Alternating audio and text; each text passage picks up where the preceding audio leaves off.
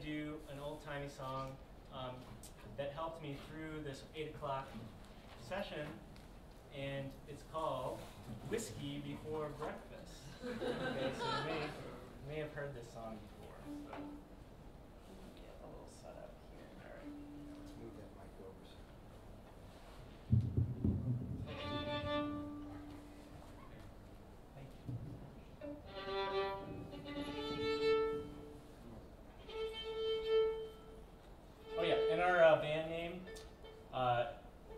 That's Denise Piechnik. My last name's McCall, so we're Piechnikal.